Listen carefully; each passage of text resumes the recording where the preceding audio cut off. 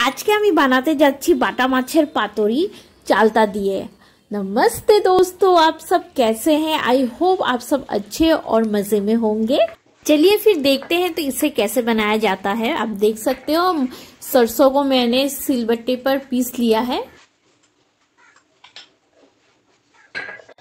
चालदा को इस प्रकार से काट लेना है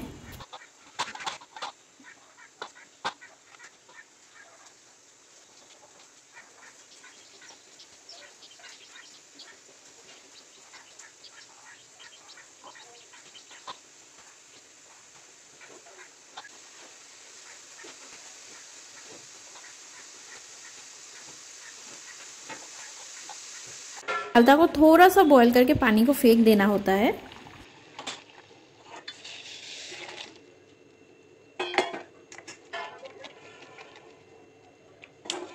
देखिए, हमने जो पहले से हल्दी नमक लगा के मच्छी को मेरीनेट करके रखा था, उसमें चालता हमने डाल दिया। अभी हल्दी और थोड़ा सा नमक और जो सरसों का पेस्ट हमने पेस्ट किया था उसको डाल देना है और मस्टर्ड ऑयल डाल के इसको अपने हाथों से मिला लेना है। आप चाहो तो आप चम्मच से भी मिला सकते हो, लेकिन मुझे ज़्यादा आसानी होती है अगर हाथ से मिलाओ तो। मच्छी है तो नरम चीज़ है, टूट जाने का डर रहता है।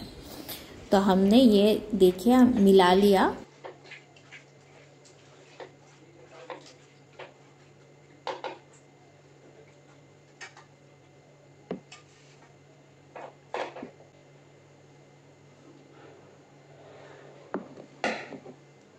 देखिए गैस की आँच को एकदम से सिम नहीं थोड़ा सा सिम से ज़्यादा बट मीडियम से कम रख के आपको थोड़ी देर बाद बाद नीचे चलाना है आपको।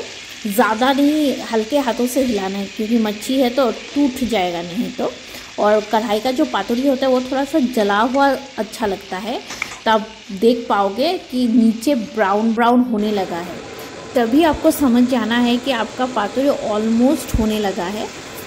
ये ना गरम भात के साथ खाने में इतना टेस्टी लगता है ना क्या बताओ आपको, मैं गारंटी दे के बता सकती हूँ कि आप लोगों को ज़बरदस्त लगेगा। थोड़ी देर ढक्कन लगाने के बाद देखिए हमारा पातोरी बनके तैयार है।